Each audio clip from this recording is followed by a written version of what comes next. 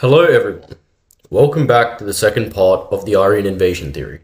If you haven't seen the first part, then I'll put a link to it. Anyway, today we will be explaining to everyone the reason behind the AIT's creation.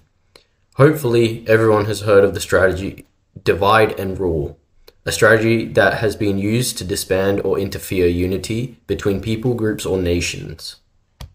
You may be questioning why I've stated divide and rule in a video about history, right? Well, this conquering strategy used by many war tacticians have known to play a great role in dividing a whole group into a hierarchy, while also placing hatred in between their relations. As I stated previously, the AIT had stated that modern day Aryans, North Indian people, are the descendants of the Aryan invaders from the east. It was said that the Aryans had pushed the Dravidians towards the south of India and had them stay there. One thing I wanted to add was that the South Indians had a higher concentration of pigment for their skin, and it takes longer than 14,000 years of any visible genetic mutation like that to occur within a well developed species, meaning that South Indians that used to be living up in the northern areas of India, a particularly cold region, would mean that they have lighter skin tones, which is clearly not the case. Right, people. Before the video starts, make sure to subscribe to our channel, like the video, and also, of course, watch the video till the end. Or you're going to miss out on the crucial information. From India, a lot of the people had moved out towards Northern Asia, Europe, Southeast and East Asia, Oceania, and American regions. Obviously, many different genetic groups were brought about during the immigration into India, but the main genetic group came from the Indian subcontinent which later transferred into every other race in humanity. Why has this Western narrative been pushed out? Now, this theory has been pushed out even after it's been debunked, and a lot of texts still believe it, including a lot of South Indians.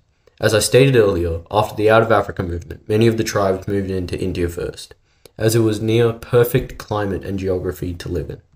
During the colonial period, when India was taken over by a few different kingdoms, mainly stating Portugal and Britain, the German researcher found that one European genetic type that was very common in Indians, leading to the knowledge that Europeans originated from the Indian R1A haplogroup, which resulted in him being disgusted at this fact, as darker skinned people were referred to being disgusted in the past. So, Max Muller created this Aryan invasion theory to try and place a false narrative about Europeans, mostly Germans, being the supreme race which also allowed colonizers to create racial diversion between the South and Northern Indians. This diversion was a big deal as it would separate how the individuals would think and respond to situations, which also slowed down the independence movement. Even now, it is fairly pushed out to the public, even in India. Till this day, many South Indians and North Indians have scuffles over this issue. Why do people still believe in it? The Aryan invasion theory was, of course, a European narrative to support their fake reasonings to why the Europeans are the purest humans.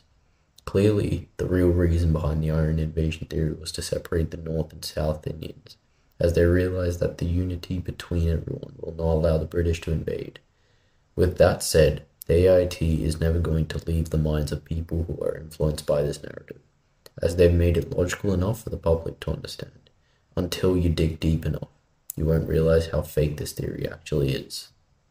In conclusion, the Aryan invasion theory, a European narrative made by Max Muller, a German philologist, has stated that there was an invasion that occurred into the Indian subcontinent during the 1800s to 1500 BCE, hence the diverse physical appearance in Indian genes. However, this was later found that there was no such invasion into India by any Aryan invaders by looking through archaeological surveys and the original genetic origin of the Indo-Aryans, as well as the Dravidian people of India.